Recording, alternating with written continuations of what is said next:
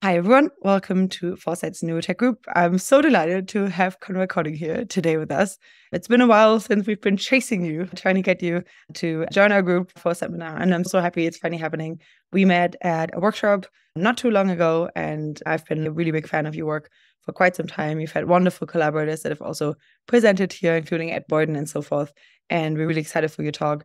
You're also working on a pretty, I think, yeah, an area that is like of great interest for many people in this group. Uh, and today you'll be talking on causal perturbations to whole brain emulate C. elegans in particular, which has definitely come up in almost, I would say, well, many of our seminars and at our workshop this year, it was a very, very big topic. So really excited to have you on. Thank you so much for joining. The stage will be yours. I'm going to share much more info about you in the chat. And then I'm going to start collecting questions for the Q&A afterwards, which I hope will be quite out there. Okay, thanks so much for joining, Konrad. The stage is yours. Wonderful. I'm so excited to be telling you about our thoughts on C. elegans. I will be sharing the slides, of course, afterwards, and I'll be delighted to discuss more afterwards. In a way, this is a deeply personal project for me. And that's why I want to start a little bit how we get there to this project and why I think it's so important. There you see a C. elegans. A lot of you will probably not be all that excited about C. elegans, and I hope that after the talk it will be a little bit different. So let me talk about how I get into neuroscience. So I was a PhD student in Zurich. I had read a few neuroscience papers, but I remember a moment that really made a big difference for me, which is I've seen the original and Wiesel type experiments. So in the lab, we had Kevin Martin, who was one of these old school people in electrophysiology. Exper- all the old vision experiments were on cats cats are pretty amazing animals, but in case they have relatively simple, well developed brains. And so I remember these experiments. So think about it, these are like three day experiments. They don't want to waste any animals that they don't need to waste. They put the animal into that setup. They have a wire that goes into the brain, into the cell, or very close to the cell. So every time the cell spikes, you hear a little click to it. And then the cat is in front of a screen. And then they have these projection devices. The way it effectively looks, they go like with something that moves like this. And they do this and nothing happens. And then you start hearing it. And then and they figure out what the receptive field of, uh, is of the cell. Now, that felt like a deep insight into how brains work. Like we have a cell there, one cell only. And for that cell, we see what we do on the outside, how that changes what the cell does. And that immediately get me thinking about okay, how could I simulate a cat in the simulation? And what is missing for that? And how can I get there? And it seemed very obvious. Now, in fact, I wanted to do experiments. I just wasn't very good at doing the experiments. So instead, I became a data person, made sense of big data sets, collaborated with lots of people, I now also read the CIFAR LMB group, which is arguably the strongest machine learning person, the strongest machine learning group on this planet. So I, most of my research was more on the tech side on how we make sense of such data sets. But still, like, how do we get from where we're here to a simulation? And that, no, I can't. Okay, here. Wonderful. So a successful simulation, what do I mean with that? If I could correctly simulate that cat, I should be able to, for every neuron that's in that brain, tell you how active it is at every possible time. But it also should be able to replicate all the behaviors of a cat. like I wanted to chase a mouse if the mouse runs. I wanted to go for like the other gendered cat if the opportunity arises. I want it to be grooming itself and do all the things that kind of cats do. And we have a lot of experience with cats. So we want to be able to predict all the behaviors. Importantly, we want to be able to predict behaviors that we've never seen before. We also want to predict activities that we've never seen before. And we want to be able to predict what happens if we do a perturbation or what happens if we hmm. show something different to the animal or if we go into the brain and stimulate it electrically or something. In all of, of those cases, we want out of domain generalization. We want to train it on some data, and then we want to be able to predict new things. in the same way, you know, like if you could simulate Konrad, it's not enough if just in all situations that Konrad has encountered in the past, you correctly simulate Konrad. It needs that simulated Konrad to be acceptable as a simulation to me must now also do all the things as Konrad would do if it would come into a new situation. And that leads us down a path of causality, as we'll see in a second. Now, the goal is to simulate it. We want to extract and my, so my goal during my PhD some 20 years ago was already to lead to a simulation. And that was a simple simulation. I said, let's we know what's on screen in front of the cat. Can we use that to predict what every single neuron will be doing? And I came up with that idea that what we should extract are the things that kind of are not changing over time. It turns out that it's basically the same criterion that we use to, to train transformers today. Get great predictive models. I was able to predict a lot of the properties that neurons are doing. But of course, I don't know the causal reality. And let me break down what I mean with that. What I did is I model a function of what I show on screen for the cat to what's happening in the neuron inside. How do I know how the brain actually does it? I have no idea. No, it could be that that visual stimulus goes to one intermediate layer that we know to exist there, the lateral geniculate nucleus, and from there, feed forward way implements the functions that we have. It could also be that it goes all the way to the front of the cat's brain where stuff happens, and then it percolates all the way back there, which is then we have the reflecting activity there. Do we know which one of them it is? No. Do we have big disagreements in computational neuroscience? How these most simple pieces in the early primary visual cortex work? Yes, we do. Do we have any data that really can speak to that? Largely no that. Why is that the case? We only have the correlations. Know, like we know what happens here at this cell based on what we give as stimulus. We don't know how this cell influences that other cell. But for our simulations we are forced to say this is how the components in our system influence one another. So fundamentally to this day in neuroscience. We're at that place where we get the correlations of what happened inside and we don't get the mechanisms. And therefore, we don't know what the computational primitives are or how the functions are implemented or even how they are learned. We can't know that because all we do is we get how cells relate to the outside, not what cells actually do. And I've been struggling with this problem. Like the problem was obvious late in my PhD thesis, and I've been trying to go at it from many different angles, like better machine learning, better predictive models, better data sources, all kinds of things, and I never quite got there. And here's a paper that was together with Eric Jonas five years ago that really brought that together, where we said, okay, look, imagine you had something like a microprocessor. Would us as neuroscientists be able to understand how it works? And we showed how all the techniques that are popular in neuroscience would absolutely not get us there. So with this introduction, you can see why am I so interested in that? Because the approaches that I've been following so far, which were all the state-of-the-art approaches in neuroscience, basically led me nowhere. So let's briefly look at causality, why it's so problematic, and then we'll take that to C elegans how we can do that. Definition of causality, standard counterfactual definition, let A and B and B events, causation exists if and only if we had changed A to A star, the probability of B would have been different. And for example, take my coffee machine. I have a problem with coffee machines. You heat up the boiler, it makes gauge go to the right. You make the gauge go to the right by going in with a screwdriver and rotating it. The temperature doesn't actually increase in the thing. So correlation, normally they're 100% correlated, but absolutely correlation is not causation there. Now, why is correlation causality hard?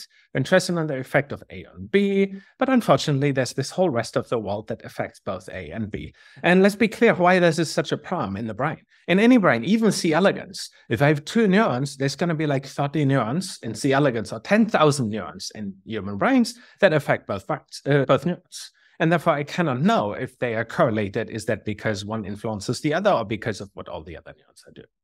Let's get an intuition for how problematic that is. This is the simplest, most trivial dynamical system that can replicate basically anything. xt plus one is some nonlinearity sigma times a, which is the causal matrix, times xt, plus like some Gaussian noise. I set it so that all that the largest largest singular value is 0.99. I initialize it to zero and then I simulate it.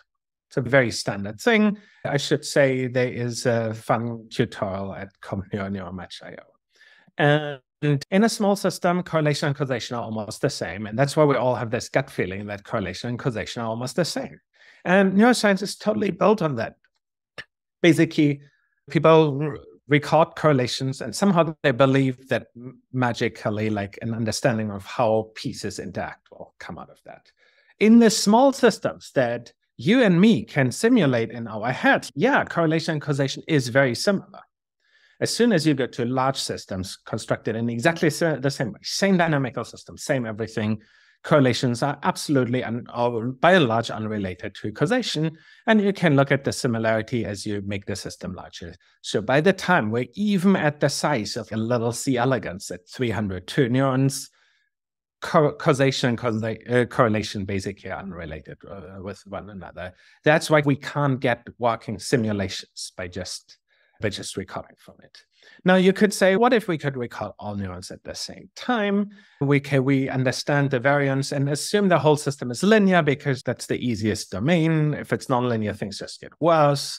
You can then calculate the expected variance of that estimator and the two norm is uh, going to be related to square root of p square root of n. P is the number of parameters, N is the number of recordings that you have, beta and beta. Beta hat is the estimate of the causal effect, beta is the actual causal effect. And then you have this C term that you have in the beginning, which basically just measures how correlated things are. If things are correlated, you need more data, all other things being equal. The important thing is if you take just a simple cortical neuron from a human brain back of the envelope all the factors that you have here, the strong correlations in it. You can find out that even if you could record from all the neurons in my brain from the time I'm born until I die, you will not have enough data to figure out how my brain actually works at any given point of time because they're all correlated and correlations means that there's some dimensions about which we can know very little. So Bigger animals are probably Im- impossible. I, there's a few, if you're interested in more details, A, I'd be very happy to talk about it. And B, there's a bunch of talks of mine that try and back of the envelope that. Big brains are probably impossible. So let's see if we can do C elegans. And I'll right all the way at the end, I'll come back to how we can actually probably do bigger brains relatively. C elegans, why is C elegans exciting? It does a lot of the things that more higher level animals do. It fights competitors, escapes danger, avoids bad chemicals, forages for food, it mates, adapts to the mechanical environment. A lot of the things that we do. It's a pretty rich system. We know the whole connectome, so we know how every neuron is connected with everyone else. This is something we have, and that's something we have also potentially for high hmm. animals. It's just that it's absolutely not enough to simulate it. To start with, we don't know even the sign of an interaction. And of the interactions that we have, of which we might be able to guess the sign, they happen, they unfold on different timescales with different nonlinearities, with different properties. So it's there's a lot missing. But what's so cool about C elegans? The first thing is we can record all neurons at the same time. We can also stimulate all neurons whenever we want. And we can use light sheet, and Andrew Leifer has been pioneering that light sheet, no, no sculpture, sculptured light approaches to basically stimulate any subset of them. Also, if you give me two C elegances, they have the exact same number of cells. And not only that, but we can figure out which cell in one animal is which cell in the other cell. And so therefore we can uniquely collate data across individuals. If you had fish or something, every fish is different. Take mouse. Every mouse is like mm-hmm. very different. It's there's the same neuron doesn't exist across mice. The cool thing about C. elegans is there's 302 neurons. Each of them has a name, and each of them exists in all of them. And the connections between them are relatively conserved. So the other thing is a cortical neurons in your brain has 10,000 inputs. A cerebellar neuron has 100,000. These neurons only on average have like order, order 30 or so. So it's a much, much easier problem. It turns out that you need an amount of information per neuron to identify the IO function that grows linearly with the number of inputs that you have. So if you have 30 instead of 10,000, you need factor 300 less data. Couple that with the fact that you can pull across animals and you can do a lot of things that you that you couldn't do. Also, it's slower And you, of course, have complete I/O access that you most certainly don't have on a brain like mine. So, what's the idea? You do imaging and stimulation. You, we will then basically get all that. We will use computer vision to align them all with one another. We have a wonderful team doing that. And then that gives us basically the traces, neuron by time. And there's going to be stimulation, and the stimulation sketched here in blue. And the stimulation effect, the post stimulation thing in the network, sketched in red. What you can see is if you stimulate some neurons, you will basically see a reflection of that stimulation, of course, also in the other neurons. And by going through a lot of different small combinations, you can then do proper modeling. The modeling there is the idea that we take the output of every neuron, we call that y, and we fit that as a function. We can minimize the mean squared error, where we then say we want to understand what every neuron does based on the past activity of all neurons and the past stimulation of all neurons. And then we can test if it works at predicting new behaviors and at produce at predicting what happens if we do new stimulation that is not part of our data set. Now, to be clear, it will always be non-overlapping pieces. We will train on some data set, and then we will test if we're correct on another one.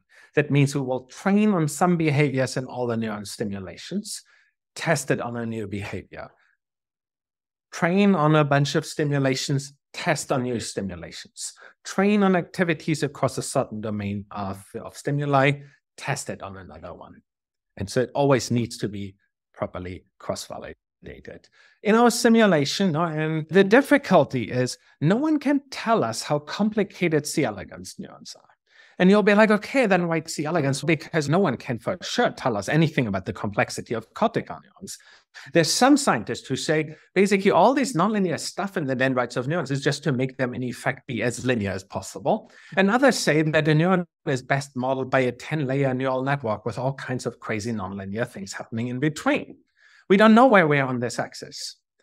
Our power calculations there are based on assuming that we need a rather large number of free parameters because we need to allow nonlinearities between them. And in this simulation, you can see on the x-axis how many perturbations we use.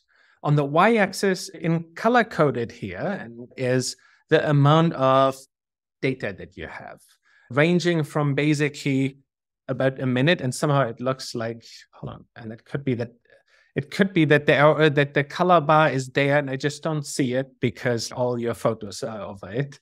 or it could be, but in any case, it basically ranges from something equivalent to a few minutes in purple to basically year a year or two worth of stimulation effort in yellow. What you can see is more stimulation patterns helps us better identify those systems as you should. Why do we need stimulation? The stimulation basically makes the activity of the neurons less correlated. If the stimuli, uh, uh, if the neural activities are very correlated, there's lots of dimensions about which we will, will be able to know almost nothing. So it massively helps to be able to stimulate more. Stimulating through more different patterns also helps more than stimulating a smaller number of different patterns we can estimate the statistical power. We basically assume that we need roughly order two neuron interactions, order 10,000 parameters. There might be an order of magnitude more or an order of magnitude less, but roughly we our power calculations assume that we stimulate random subsets of neurons per worm, roughly white stimulus through stimulation. So we assume that the covariance matrix doesn't have a condition number of larger than 10 in this case. We assume that, and we know that from previous experiments, if we want to know how strongly two neurons are interacting with one another, then we can stimulate. It takes us maybe a minute to do that. If we therefore then need 1 million minutes, according to our calculation, which is two years, 24 7, it's something that one can totally do. You can run multiple setups in parallel. They aren't cheap, but they're the best we have at the moment. Then those two years can become even shorter. So it's in the realm of absolutely doable things. It's not in the realm of what scientists usually do, because as a scientist, what I'd be expected to do is take take a hypothesis and test that hypothesis. But I don't want a hypothesis. I think hypothesis driven research isn't even overly valuable here because the space of what even 302 neurons can do together is just very large and I don't have a strong hypothesis space in that area. But for a simulation, you want to maximize the amount of data you can get, produce the best possible simulation here. Data strategy is not that you basically just fit something that fits activities based on the past. You have some prior knowledge, namely which connections exist in the connectomes, quick reminder for people on C. elegans there's a lot of neuromodulators with which cells can communicate even if they don't have a synapse. So the fact that we know which neurons have a connection between them as synapse doesn't mean that we know who actually speaks with them. There's a whole bunch of parallel channels that the structural connectome doesn't give away. But the structural connectome will be very useful at giving prior knowledge, you know, like which synapses are close to one another. They're more likely to interact nonlinear uh, which things exist as neuromodulators, they will be likely to change the efficacy of other synapses. Let me briefly uh, zoom out as I'm coming to the end of my talk. Do we really care about C. elegans? No, I think that's the big question. Like, I don't think a lot of people are, there exist people who are really excited about C. elegans. For me, C. elegans is just the place where we can learn how to properly reverse engineer a nervous system, how to produce causal data, but probably there's reasons to care about it by itself. There's probably things related to health and longevity that relate to C. elegans. But let's talk about, about scaling up. Now, the gold standard, what everyone talks about, is electrophysiology or optical physiology as the gold standard of figuring out how neurons interact with one another. Why is that the case? There's a history for that, which is 400 years. That's what we've been doing. No, and I remember how cool it is. They put in an electrode and you can hear what a neuron is doing. It feels like we'd be missing a lot if we didn't have that. But at the same time, it's a technique that fundamentally doesn't scale. No. Let's see if we can do the same thing differently. Oh, hold on. First, like I'm currently building a team around that so what do we need? We need a perturbation pipeline. Now, like we need basically microscopes where we perturb subsets of neurons and record everything. What we decided that we also need, because that's the path to scale up, is annotated connectome. So I don't just want to see a C. elegans. I want to see a C. elegans with all the synapses, and I want to know which molecules are where. Because my hypothesis is that if you show me not just the synapse, which is what connectomes do, but also all the molecules that are there. They will probably give away what that thing does as a computational element. So if we could do have connectomes, but they were annotated where we would know which molecules are where, then we could find out how causality works by just looking at the individual synapses. The cool thing is that can be much better signal to noise ratio, you know, because like now we are looking at these individual things. We can see all the molecules. And then, of course, we need data approaches, and of course, we need all the knowledge from C, C elegans. So briefly, the key to scale up for me is, is molecular annotated connectomes. We want to know basically to have the 3D images, but in every synapse, so we want all that information, how it interacts with the rest. Now, this needs to be calibrated. Now, we, we need the combination of causal knowledge, what happens with ethers, with causal knowledge of what happens at the molecules in between. But we need a system where we can establish that. C. elegans is clearly the place where we can establish that, where we can know causally how every neuron influences every other one, and we can see where the molecules are. Once we get that calibrated in one system, it's relatively easy to then scale up. We can isolate individual synapses in higher animals, see what the causal effects are locally, put that all, all together again.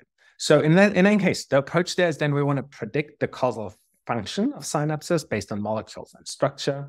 And to calibrate that, we will need C. elegans. Take home message. I don't think we can get go to a simulation without without really getting at causality first. I do believe that C. elegans offers us the way of scaling up causality from the tiny one on one space where we're mostly sitting now to like the big how del- how is every neuron's output a nonlinear function of all the inputs it receives. I'm sure we can go there. I don't think we can get to causality without large scale stimulation at the moment because we can't without that we can't calibrate what individual synapses do and we can't go to large scale stimulation if we can't pull. That's the magical thing about C. elegans. They're all identical, or by and large identical. Therefore, we can pull, can do lots of experiments and assume that it's just noise that we have between. And then we can scale up to bigger animals using molecular annotated connectomes and hopefully before AGI happens, because who, whoever knows what's happening then. And of course, uh, all the ideas come out of my broader lab and the many collaborators that we have around that. We're collaborating with Ed Boyden, we're collaborating about, with Cori Bargmann and Miriam Goodman and many other inno- uh, Andrew Leifer, many other innovators at the C. elegans, the stimulation and microscopy field, because I view causal neuroscience to get at actually working simulation as the key next step for neuroscience altogether. And with that, thanks for your attention. Wonderful. I love that you took it all the way out there at the end. Really exciting. Thank you so, so much. We're already getting a few clapping hands. That was really exciting and quite the whirlwind for such little time. So I'm hoping we can dig into some of that more during the Q&A. We already have a few Q and questions stacked in the comment section. Is it okay if I just ask people to unmute or do you want a little break? Yeah. Okay, cool. Then Logan, you're first. Feel free to unmute. And for everyone else, feel free to just raise hand at this point or feel free to continue dropping your questions in the chat if you also want other people to chime in on it.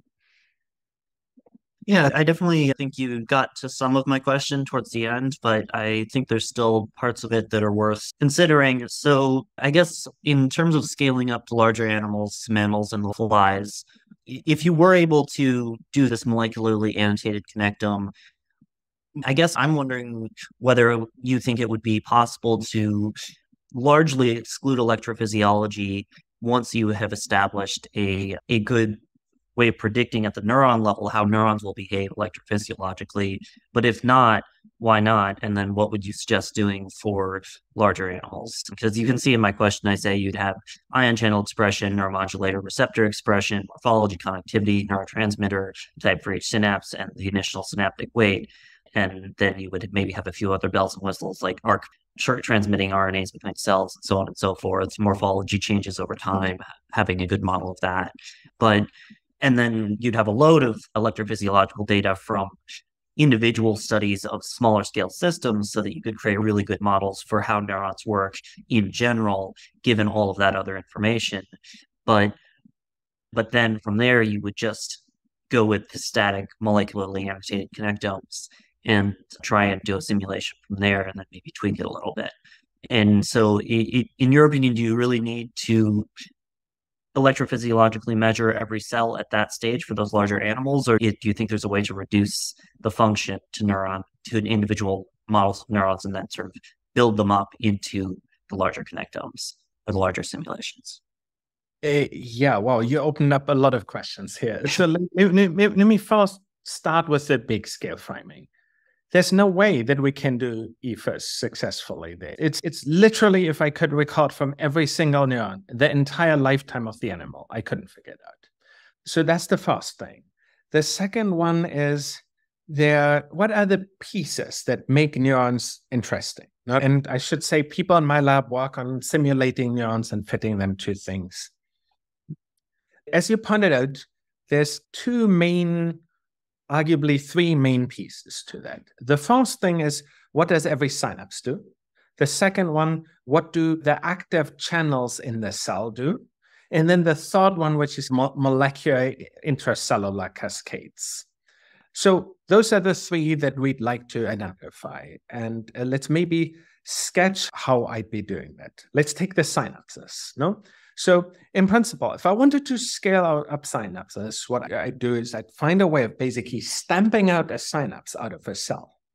Mm-hmm. And then identify that individual cell and see all the molecules that are there. Like basically IO, fun- IO function of the synapse very carefully mapped along with all the molecules that are there. For scale up, you'd want to have a way of stamping them out. It's no, because you need so much calibration data. There's probably a very large number of different synapses. You need to make sure that you're not missing some molecules that you need. Now, they could be synapses that have the same molecules, if you say use 100 molecules or something, there could be some that look identical structure wise, that look identical with respect to the 100 molecules that you have, and that yet do something significantly different. So you do need a large scale calibration exercise as well, where you take lots of synapses and you characterize them. So I think that's how it goes for the synapses. Then the second thing is what about the dendritic properties? Like we have basically all those active channels that are there. I think you'd want to do something rather similar, you know, where you take pieces of dendrite that you somehow stamp out of the 3D matrix that you have and identify what the electrophysiological properties are. And then for the intracellular molecular cascades, you'd probably want to follow a somewhat similar aspect as well. Why not ephys? Because kind of ephys simply scales very badly. Like you can get only so much information out of it per time unit per ETH with ephys. And as soon as you allow the system to be bigger, you see the superposition of all those things, which will lead you to an inverse problem that will universally be ill posed. Keep in mind that there exist no two identical synapses probably in an entire brain. You know, like every synapse has has, as far as we know, multiple degrees of a, whole bunch of degrees of freedom, which isn't just the strength, but like the strength at multiple different time scales and how strongly it interacts with all the neuromodulators that change the synapse. So it is every synapse is this function in this weird high dimensional space. If I wanted to simulate a higher level animal like a mouse, I'd need to know which synapses is which type. And we don't even have any convincing evidence that there exists, say, a finite alphabet of these. It, it, can, it, can, it can really live in a medium dimensional, what in a 10 dimensional space. It's probably indexed by molecular concentrations there. But if we don't see them, finding them out through ephys is very difficult. But because every mouse is different, you'd need to like do that individually on each piece. Whereas if you want to scale and you can somehow stamp out little pieces. In that case, you can calibrate what the molecules do. And once you know what the molecules do, you can hopefully put it into a simulation that works. Okay, yeah, that's actually similar to what I was thinking. I think we might be on the same page there. I do, if it's all right, I do have one follow up question. So, the you've talked about these very high dimensional spaces for predicting behavior of an individual animal. I'm curious if brains change over time. Animals, there's differences between animals.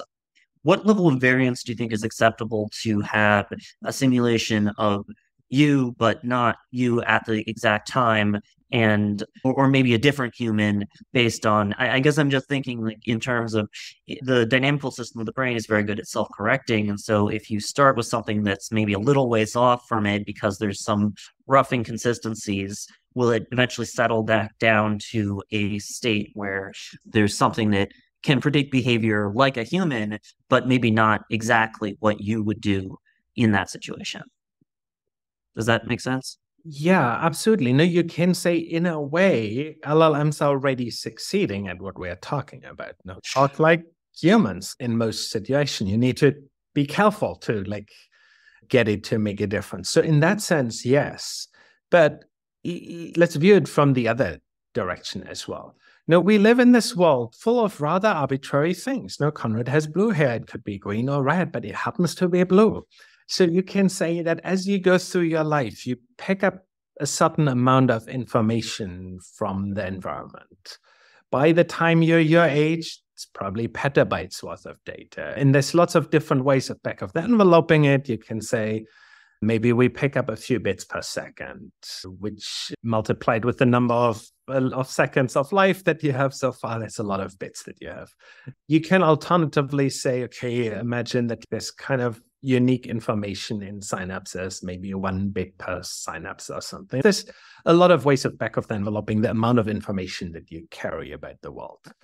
Like as soon as you start like being below a certain data limit, you can't, it's impossible that all that information is there. And like you can say, uh, none of your simulation can be correct unless it also knows that Konrad's hair is blue, and along with another million things you probably learned at, at, at the meetings organized by the Foresight Foundation. Like there's so much information that is there. So Eh, that means that there's a certain minimal amount of unique information that you need to get. And there's no doubt that if we would start like cutting people into uh, thin slices or something, we would lose information. But we probably can't lose so much information that like we cut away the things that make them uniquely them. So therefore, scale up, well, without a doubt, basically require relatively high precision reconstruction of the relevant variables. Yeah. No, and like I can't give you like a concrete, straight faced answer of like how many orders of magnitude. Is there an order of magnitude of arbitrariness and therefore like a 90% loss rate is totally fine? Possibly. Is it two orders of magnitude? Possibly not. Is it three orders of magnitude? Very likely not.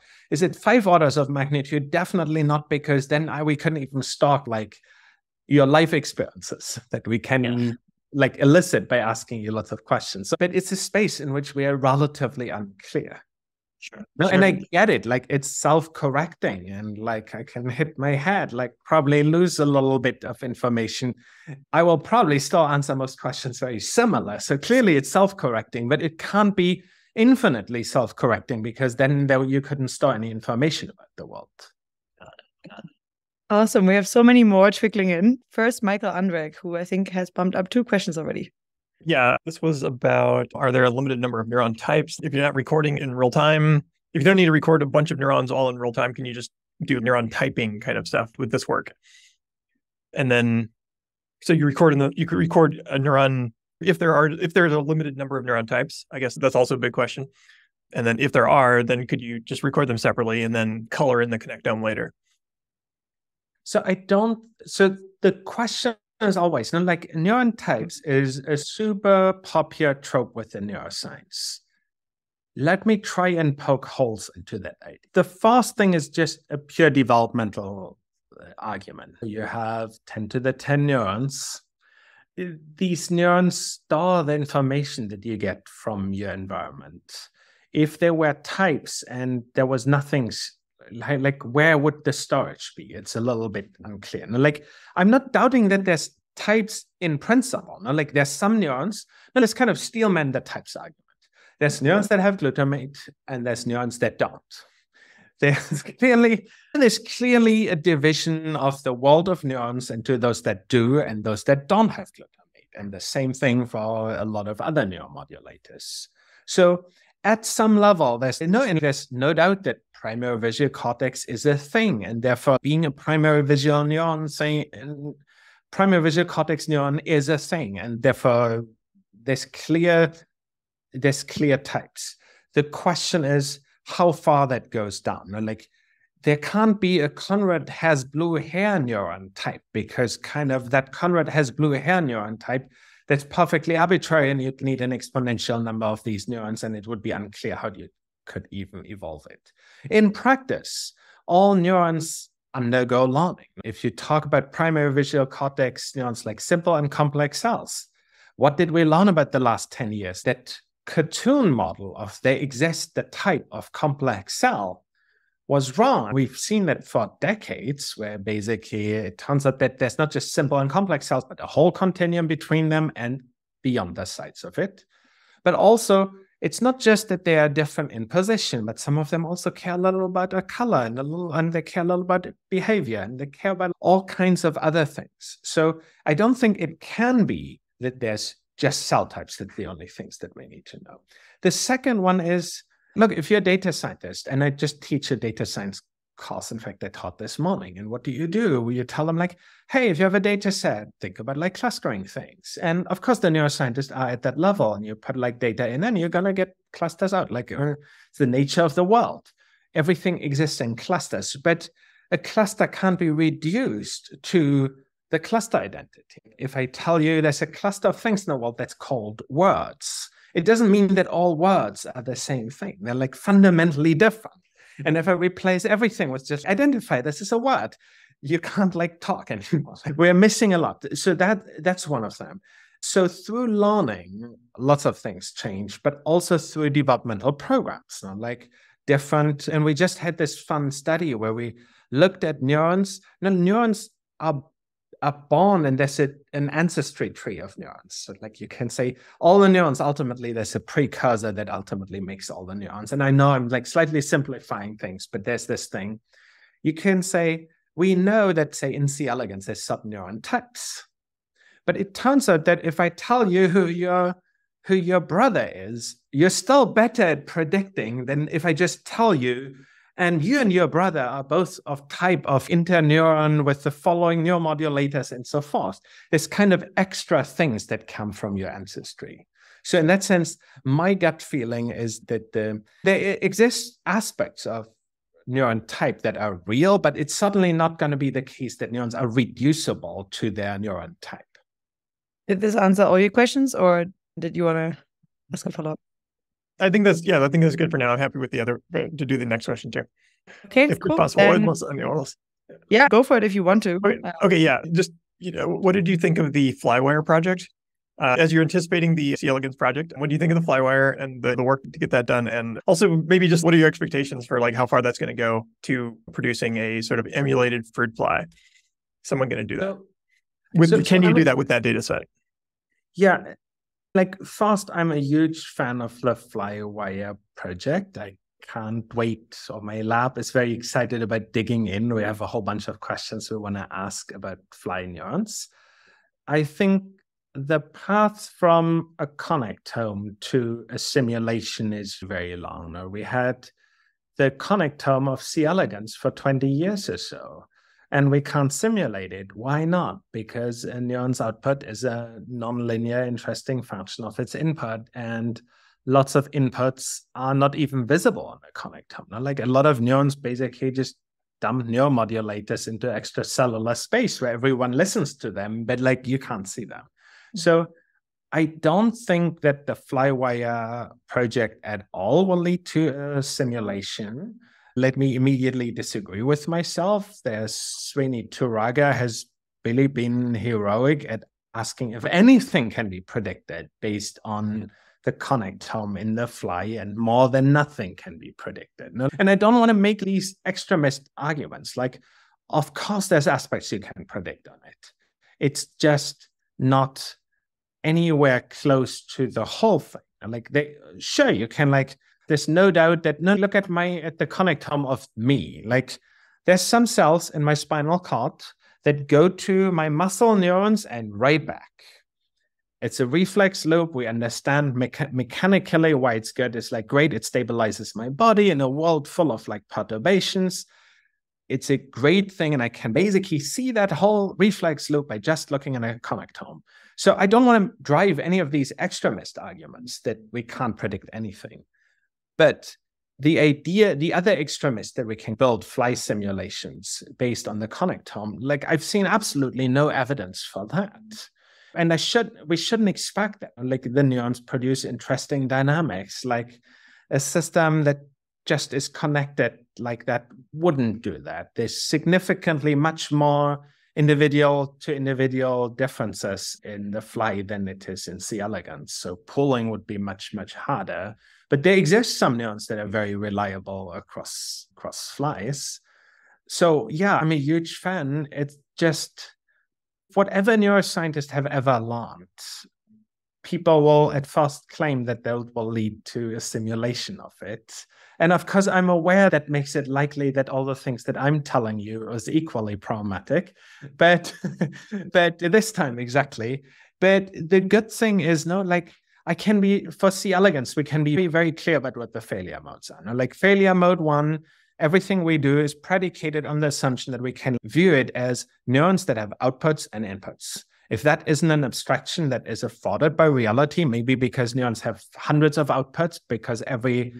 place where there's there could in principle be electrical coupling, then like we will basically we're guaranteed to fail.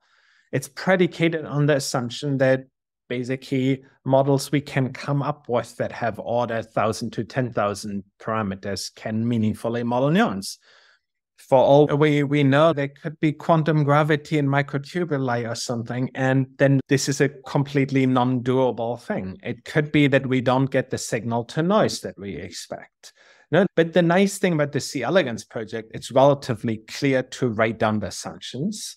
And it's also clear actually for the Flywire project. Now you can say if the majority of the influence of a synapse can be described by the connectome, then yes, like you'll be able to produce a simulation for that.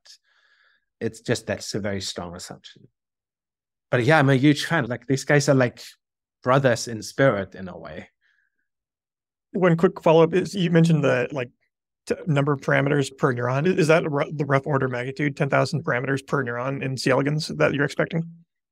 That's what I'm expecting. Let me maybe highlight where that's coming from. A neuron in C. elegans has like order 30, 50 inputs.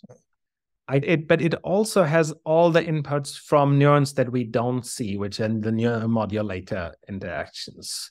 It's known that neuromodulators have strong influences on synaptic efficacies. So you can say, I need to understand like all the 100 neurons, but I also need to now need to allow 100 neurons to interface with 100 neurons and like bilinear models allow every pair to interact feels like a fast order approach to that. In reality, I think that allows too many there and too little in other places where you can say there should be nonlinearities related to like local pieces of the dendrite. We had the question earlier about about channel densities and so forth. They will be sitting somewhere in there. But out of that calculation comes that we'll probably need thousand to like significantly more than thousand interaction terms it's clear it can't be less than 302 302 or like uh, in a way. It's it seems unlikely that it would require the parity function like computer scientists like to have these worst case scenarios where you can prove that no basically you need an exponential amount of data. If we're in that world then we can't ever understand another system. But it seems very unlikely that a would implement the parity function or something like that. All right we have two more to go and then I have one final closer question. We'll try to make it all on time. Regina, you're first. If you can't unmute, I'm also happy to ask your question if you prefer. Maybe I'll just go for it. Is your method that you just discussed today been published so interested others can try it? Yeah, so we have one big white paper where we get a lot of people that share that dream together and we wrote a white paper that is shared as a preprint somewhere. I'll find it for you in just one second. Let yeah, me... I already took a peek and it's pretty extensive, really interesting. It's a fun, big vision paper that both highlights why and how and so forth. Awesome. He just shared it in the chat. Thank you so much, Konrad. It's really worth reading. Oh, and let me briefly answer Robert yeah. who finds it puzzling when I say, for all we know, quantum gravity. Like, I don't personally believe in this quantum gravity thing. And I absolutely believe that, like, me as a physicist, I have reasons to not like those models. It's just I like to leave uncertainty about the assumptions that I make in this case. And if I estimate how many parameters they are, there exist levels at which it's hard for me to be sure in our in my calculations know what happens in a neuron. The nonlinearities that I actually exist if if very complex nonlinearities exist they could be complex branching molecular cascades happening within a cell. Yeah i think that's also how i took your point on that matter. Oh, so, so yes rob but i'm sorry I, I was being facetious when i said it. It like i wasn't promoting at all that quantum gravity is the right way of thinking about it. And I do believe, and I have done a lot of papers where back of the envelope effects. And I think as physicists, we can say a lot about it.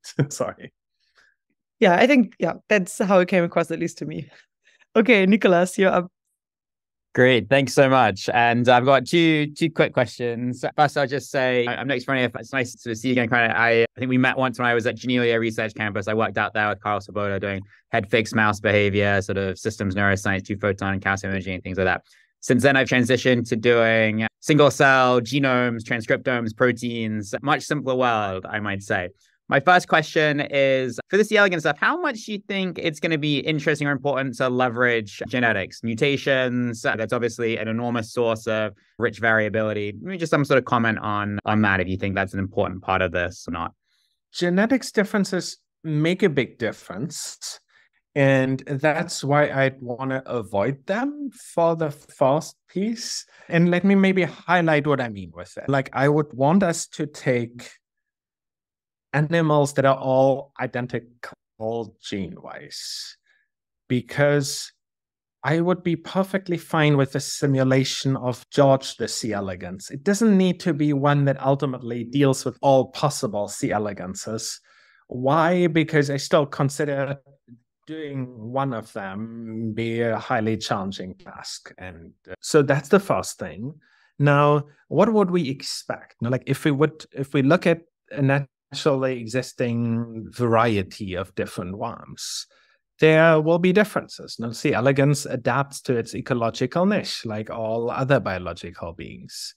So, in a sense, you expect that aspects of the nervous system change as you evolve in a given environment.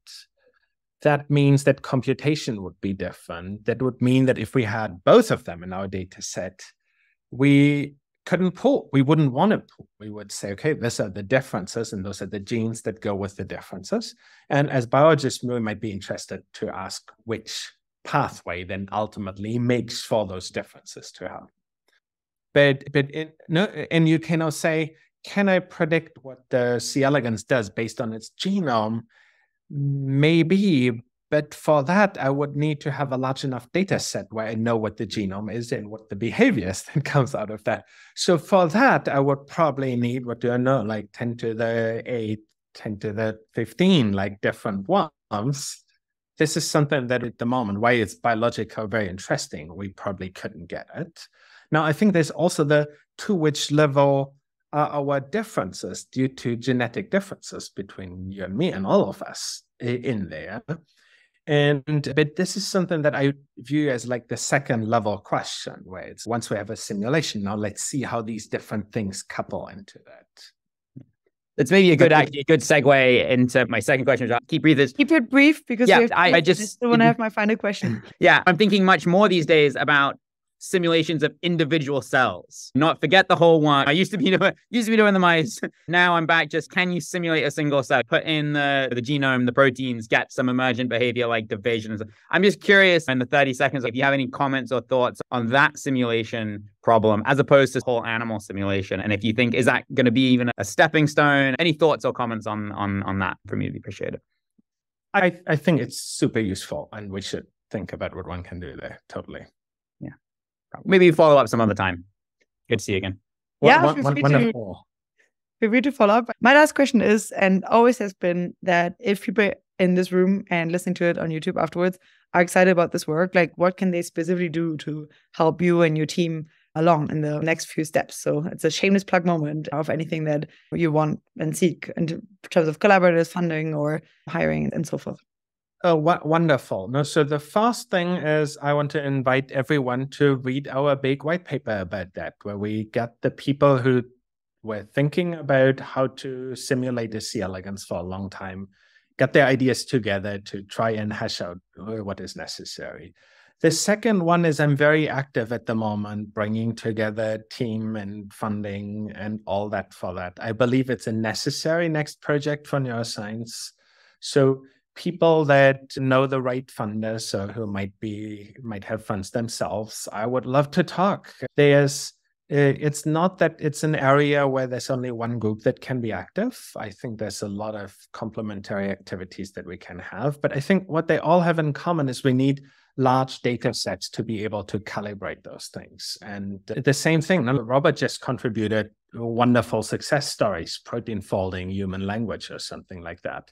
Why did we make so much progress? We had these massive, awesome data sets. And I think what we need for nervous systems is we need massive, awesome data sets of causal influences of how things influence one another. And I want to encourage everyone to contact me on any channel. I'm, my email is easy to find. I'm active on Twitter as Kording Lab. And I just joined your Discord as well so that people can find me more easily. Wonderful. Thank you so much. Yeah, you definitely raised some really interesting questions. Thank you so much for joining. This was really exciting. Thanks for everyone for asking such great questions. And I hope to see you very soon for the next one.